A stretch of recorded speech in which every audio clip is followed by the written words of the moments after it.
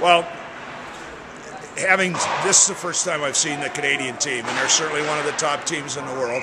I think we are as well. Uh, I think when we play five on five against them, we use our speed and move the puck. Uh, we're the better team. Uh, tonight we got ourselves into a couple defensive breakdowns, gave them the opportunity to score. But that's the name of the game of hockey. Uh, hopefully we get a chance to come back at them again and uh, uh, get ready for another encounter with them this year.